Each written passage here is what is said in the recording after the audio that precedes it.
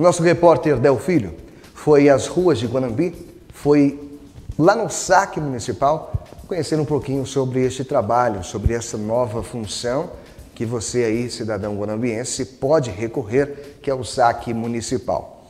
Ah, vamos lá, tá pronto aí, tá preparado? Nosso repórter Del Filho teve uma entrevista exclusiva com o secretário Fabrício Lopes. É com você, Del Filho, vai lá. Olá, bom dia, eu sou Del Filho, repórter da TV Serra dos Brindes e hoje estou aqui no saque para entrevistar o secretário Fabrício Lopes.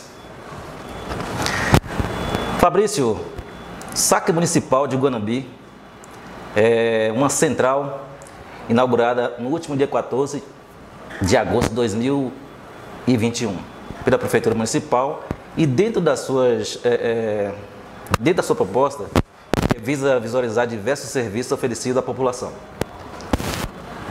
O que é o saque e quais os serviços oferecidos pelo saque municipal? Bom, bom dia. Primeiramente, agradecer pelo convite, parabenizar aí pela iniciativa, que é interessante que a mídia faça esse papel de divulgar as ações e principalmente projetos da cidade em benefício da coletividade. A, questão do saque municipal aqui de Guanabi, ela visa integrar uma série de serviços. É, foi trabalhado no plano de governo do prefeito Nilo Inal, se tornou uma política pública, como eu falo, se tornou uma política pública porque não é uma política de governo, é colocada agora em benefício do cidadão. Fabrício aqui dentro, o Nilo aqui dentro, entrando e saindo, com certeza essa política ela vai ter continuidade. Então é algo que veio para ficar para a cidade. É um programa voltado para desburocratizar os serviços para a comunidade de Guanambi, com a série de secretarias inseridas aqui, como a Secretaria do Meio Ambiente, Secretaria da Agricultura, Infraestrutura, Trânsito, Assistência Social, Secretaria da Fazenda, Secretaria da Saúde, Secretaria de Cultura, Esporte e Lazer, Casa do Empreendedor, Cred Bahia, Balcão de Emprego e agora estamos já na, para fins de reformulação aqui, já enviamos o convênio a Brasília, um credenciado bancário de uma agência né, bancária aqui da cidade. Então isso tudo é realmente para integrar e que o, e o cidadão ou empresário ele venha ao saque municipal, deixando claro que o saque municipal eles são serviços da esfera municipal pública, né? para não confundir com o saque do Estado. Então as pessoas podem vir tranquilamente, o seu horário de funcionamento é das 8 às 17 horas, ininterrupta, não fechamos o horário de almoço, porque justamente é para trazer algo do qual as pessoas precisam, seu horário para poder fazer algo que também ninguém vem à prefeitura né, que não seja para resolver algum problema. Então, a maioria das pessoas às vezes tem o horário de almoço, então nós estamos abertos ao horário de almoço para atender a população. Futuramente vocês pretendem ampliar os serviços abrangendo mais secretarias? Hoje nós atendemos praticamente mais de 90% dos serviços, né, nas todas as secretarias envolvidas. Não temos diretamente a Secretaria de Educação, porque não é o objetivo fim desse projeto, que ela engloba mais a questão do estudante. E a Secretaria de Administração, que também não temos aqui, porque ela enquadra mais um contexto interno e de licitação. Mas, para se ter uma ideia, esse local ele foi escolhido de forma estratégica. Se analisarmos quatro, cinco quarteirões aqui dessa região, temos todo o centro administrativo, municipal, estadual e federal nesses quadrantes da Justiça, da, da, da Receita Federal, bancos, temos aqui Justiça do Estado, Justiça Federal, MPF, MPE, Justiça do Trabalho, INSS, ou seja, temos a maioria dos órgãos públicos, estadual, federal e municipal, aqui nesse quadrante. Então isso foi uma forma estratégica para realmente facilitar, que eu falo que Gunabi hoje começou né, um centro administrativo na época de Nilo aqui, construir esse centro administrativo municipal. E hoje eu falo que hoje temos um centro administrativo de toda a cidade, com todos esses órgãos aqui no mesmo quadrante. Verdade. Sabemos que o SAC municipal é uma ação pioneira na região. O que isso representa em termos de comunidade para a população de Guanambi? É uma ação que eu falo sem sombra de dúvidas, fizemos inúmeras pesquisas, não tem similar a nível de Bahia, né, uma, um, um conglomerado de serviços públicos na esfera municipal. Fiz uma série de pesquisas e não encontramos similaridade, com exceção do saque do Estado, que é uma outra plataforma de, de tamanho. Mas hoje, para a população de Guanambi, é economizar tempo e principalmente procurar resolver as suas coisas municipais em um único local. Porque tínhamos um grande problema, você chegar, por exemplo, solicitar um alvará de funcionamento sanitário, na, na, vigilância sanitária, que temos aqui o guichê de atendimento, e você pegava sua, é, seu documento de arrecadação municipal, DAN, e ia até uma agência bancária, um credenciado bancário para poder pagar, depois vir para dar baixa, ou seja, tinha uma série de, de problemas com relação a essa parte burocrática. Hoje, né, já consegue vir aqui retirar, ainda não está sendo feito o pagamento do DAN local, porque ainda está nessa questão da instalação do credenciado bancário. Mas todos os trâmites burocráticos, documentais já foram vencidos, né, e nós esperamos que até o mês que vem esse correspondente bancário esteja aqui e aí vai facilitar ainda mais. Por sinal, o IPTU está sendo retirado aqui também, também de forma digitalmente no site da prefeitura, né, com 10% de desconto. Ou seja, o nosso papel hoje é isso aí, é pensar como nós vamos ajudar a população a desburocratizar. Como eu falei anteriormente, não é o Fabrício, não é o Nilo, não é o Nau, é uma política de cidade, não de governo, para que isso realmente perdure e a população possa ser beneficiada, que é o objetivo fim do projeto.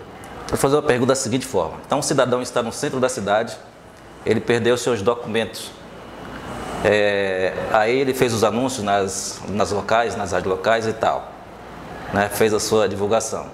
E esse documento não foi encontrado. Como é que ele faz para, ao chegar no saque, como ele, ele, tem que fazer um agendamento ou como que é? Bom, com relação a documentos pessoais, é, identidade, carteira de motorista, essas questões, está relacionado ao saque do Estado. Se ele perdeu algum documento relacionado ao alvará de funcionamento municipal, ao seu cartão do microempreendedor individual, essas questões, pode vir aqui no saque municipal, não precisa de agendamento, temos isso estipulado no nosso projeto, só que no momento não é necessário. Né? Temos um pessoal aqui que controla realmente todo o contexto de entrada, questão de pandemia, tudo é obrigatório, é, que a gente entre tenha esse controle, mas é, qualquer problema, né, ontem um, um, amigo meu me ligou e falou, rapaz, eu fiz, recorri uma multa, é, é, é eu estou indo lá, que é na saída ali para Candiba. Eu falei, não, pode vir aqui no saque municipal que você já pode olhar como é que ficou, se foi deferido ou indeferido o seu processo. Então ele já veio olhar isso aí, o que facilitou, porque imagine, ele se deslocar daqui, praticamente dessa região até o outro lado da cidade, e ir de volta, para ele seria um custo financeiro e custo de tempo. Fora a irritação que eu falo que as, as pessoas quando procuram o poder público, é, elas procuram para tentar resolver um problema que tem. E é o que eu trabalho sempre com a equipe. Vocês percebam que a nossa equipe é nova, é técnica, e eu deixo muito claro, atenda o cidadão, a cidadã, como estivessem atendendo seus pais. Porque são eles que a gente tem que ter o respeito e é. realmente atender de forma técnica. Eu sei que às vezes chega um mais exaltado e tudo, Verdade. Mas eu falo, ó, somos uma equipe. E a equipe tem que ter uma grande união. Atendam com responsabilidade, que com certeza a pessoa ainda está irritada, mas vai sair entendendo a situação e até com o seu problema resolvido. Verdade. Fabrício, fiquei sabendo por alto que vai haver uma feira na cidade. Me explica sobre isso aí. Ah, temos, estamos terminando ali fazendo a parte da planilha orçamentária. Qual é a nossa intenção? Ah, não temos mais feira agropecuária na cidade. O nosso interesse é fazer, uma plan... fazer um, um evento, seria uma, será uma feira de negócios, né, uhum. voltado ao contexto indústria, comércio, agricultura familiar, economia solidária, cultura e lazer. Então, a gente integrando esses quatro eixos para a gente poder disponibilizar estandes, né, mesmo que com tamanho reduzido, mas a ideia desse plano de, de, de, projeto de feira de negócio para ser realizado ainda esse ano. Por isso que estamos fechando a planilha orçamentária para fazer licitação da estrutura do evento, é fazer com que a gente, nesse período de ali, vamos dizer assim, reduzindo mais essa questão da pandemia, a gente possa entrar com fomento à parte comercial da cidade. Né? Um projeto bem bacana, está na mão da, nas mãos da Thaís e da Roberta daqui da Casa do Empreendedor. E concomitantemente a ela, estamos também pensando em fazer ao mesmo tempo, como eu disse, a feira gastronômica, que seria um modelo do circuito de boteco que acontece a nível de Brasil, com apoio de parceiros importantes, como por exemplo o IFE aqui de Guanambi. Verdade. E aí eu falo que é fomentar, porque às vezes as pessoas aqui na cidade não conhecem aqueles botecos, aqueles restaurantes lá da ponta, lá daqueles bairros mais longínquos. E a nossa intenção é essa, é fazer com que esse pessoal apareça, mostre seus dotes, seus valores e isso a gente vai fazer uma mídia, a gente está pensando em colocar um aplicativo de votação, tudo isso em paralelo com essa feira de negócios, para a gente dar uma movimentada no final do ano. Como eu falei, é um projeto, a gente vai encaminhar para o setor de licitações, né, para ver a questão do orçamento, tudo certinho, mas eu acredito que, que saia do papel. Então, no caso, uma feira de agronegócio, né? Não seria nem agro, porque a gente vai trabalhar mais a questão da agricultura familiar, que é uma questão menor, é Por que agricultura familiar? Quando eu falo agronegócio, eu mexo com algo maior. E o nosso interesse é pegar aquele pequenininho, eu falo para o pessoal, poxa, vocês, hoje temos uma produção da agricultura familiar em Guanambi grande, mas muito setorizada na cidade. Entendi. E a intenção é essa, já chamar a Secretaria de Agricultura para essa feira, a de Cultura, Esporte e Lazer para trabalhar o artesanato, que é um outro ponto muito bacana da cidade e que eu falo sem sombra de dúvida, às vezes nós não valorizamos o artesanato de Guanambi. E é um artesanato rico. Aqui, por sinal, é do artesanato local. Eu gosto, eu recebo, eu compro, eu coloco aqui justamente para mostrar os valores que nossa terra tem.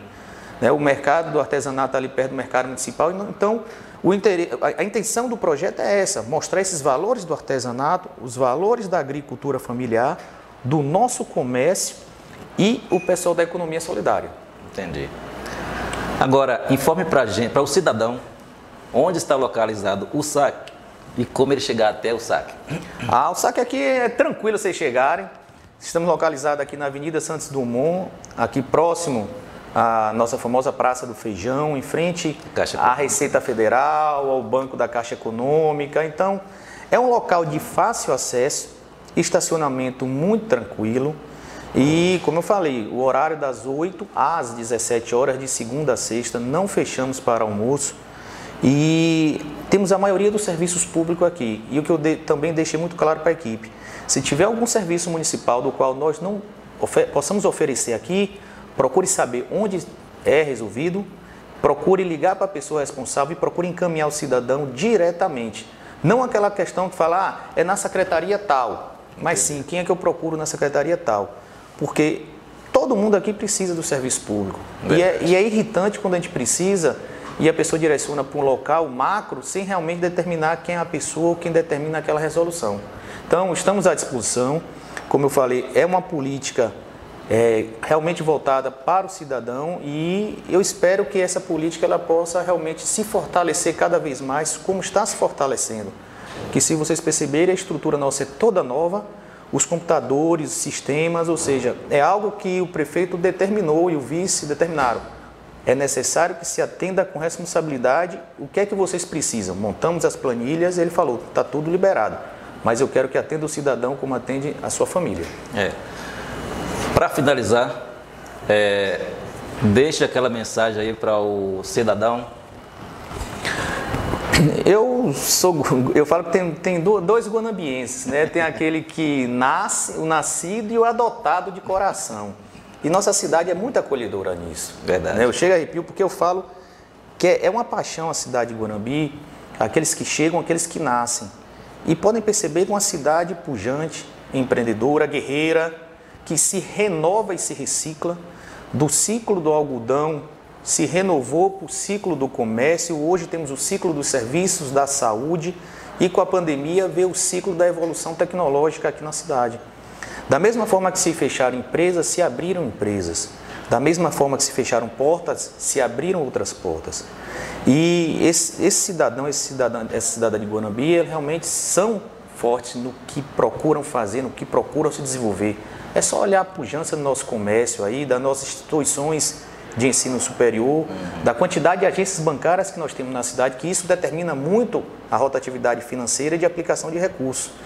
Então, só deixar uma, uma, uma mensagem de que realmente vamos nos unir em torno de um projeto, não um projeto do prefeito, Nilo, do vice, não, mas um projeto de cidade. Eu falo que cada uma tem, cada um, cada um tem sua colaboração a fazer por ela. Eu estou dando a minha colaboração hoje, mas daqui a um tempo eu também vou puxar e vou cuidar da minha vida, da minha parte pessoal, na família, e cada um dá a sua contribuição. Eu falo, não criticar quem passou ou quem vem, é realmente valorizar o que cada um fez e unir, porque a questão da união é o que faz a diferença e hoje estamos vivendo um momento político no Brasil bem complexo de uma dualidade política. E eu espero que a cidade não possa ter essa dualidade política. Unam-se em torno de um nome, de uma pessoa, de um grupo, de um projeto coletivo pela cidade. E isso fará que a gente possa crescer, que a gente possa se desenvolver. Não deu certo? Tira lá na frente, coloca outro, coloca outra e por aí vamos. Só não podemos perder a nossa fé, a nossa esperança e principalmente respeito. Respeitar as opiniões, respeitar os direcionamentos e respeitar a ideia de cada um. Esse é o principal fator que eu acho que a gente tem que direcionar muito daqui da frente. Que Deus abençoe a toda essa nossa cidade. Estamos à disposição aqui no SAC, na secretaria, e com certeza, eu acho que essa união faz a força da cidade. Certeza. Fabrício, queremos te agradecer por essa entrevista à TV Serra dos Brindes e a toda a nossa equipe. Parabenizar vocês, TV Serra dos Brindes. Ah, eu estava acompanhando no Instagram as coisas, vocês realmente vêm com um pacote bem interessante, porque a mídia, ela modificou.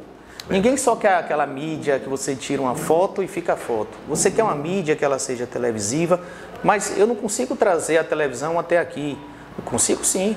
Hoje vocês são realidade. Então eu falo que as pessoas aqui têm que valorizar mais isso aí. Invistam, façam suas propagandas com esse pessoal, porque é interessante isso, que estão levando informações aos quatro cantos da cidade, da região. É difícil né, fazer mídia hoje, é difícil fazer TV hoje na estrutura que nós temos. São equipamentos caros, são equipamentos tecnológicos que precisam sempre estar em constante evolução, modificação, atualização. E às vezes quando as pessoas falam, ah, vamos fazer uma mídia, ah, mas eu faço em redes sociais. Mídia, eu falo sempre meus alunos de administração. Mídia não é só a propaganda, é todo o fato intrínseco dentro de uma comunicação realizada. Então, valorizem o que nós temos na cidade, que com certeza quem ganha é a nossa região. Bom, finalizar aquele gesto que todos fazem. Muito obrigado. Eu que agradeço e espero que, né, antigamente era, era o um abraço e tudo, hoje é um murrinho, como é a mudança do contexto, mas que Deus abençoe e, e que possamos é, em breve, né, tá, porque nós somos é, é, um, um, público mais, que eu falo, quente. Verdade. O, o, o, o pessoal aqui da, da nossa cidade, do nosso Brasil, é um pessoal que gosta mais daquele afeto, né? não somos frios, né? mas eu acredito que Deus já está melhorando muito e quem sabe ano que vem já estejamos todo mundo aí comemorando no forró do Gurutuba aqui Sim, o certeza. retorno à vida de uma forma geral mais normal. Ok, muito obrigado.